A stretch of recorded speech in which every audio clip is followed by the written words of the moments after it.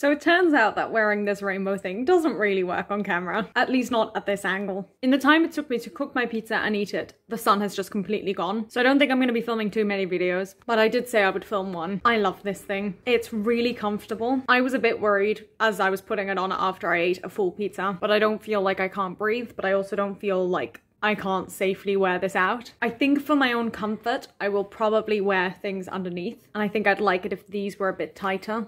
I don't think I can tighten them. But you know, we'll make do, we'll work it out. I think it's a great outfit for summer, and I think it'll be fairly easy to customize for winter. The only thing I don't know is what kind of shoes will go with it, but we'll discover that in time. Today's word is salty. And the reason why I'm going with salty is because I had a pizza and it was very peppery. Pepper is not the same as salt. I acknowledge that, but it inspired me to talk about salt. First of all, the term salty means something else nowadays. And I'm not exactly sure what it is. All I know is that I don't like using it. I hate it, in fact. Salty. Because people will say things like, don't be so salty. And it's kind of like, it's a bit like jealous and just unpleasant, but something about the word just really annoys me. And maybe it's because that's the phrase it's often used in, and I hate that people would be referred to as salty. And maybe I sound like a grandmother here, I don't know. But I just think, like, surely there's a nicer word to describe what you mean by saying salty. And also, it doesn't even make sense, because if food is salty, most people would argue that that's not such a bad thing. And it just feels like it's not the right description for what salty means, if that makes sense. I'm probably talking